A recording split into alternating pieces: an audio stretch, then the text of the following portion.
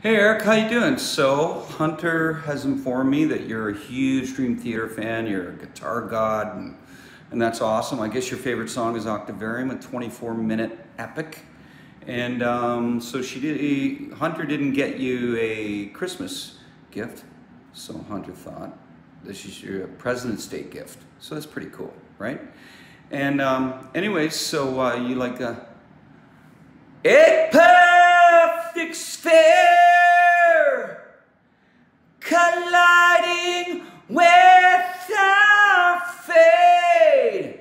The story ends where it began.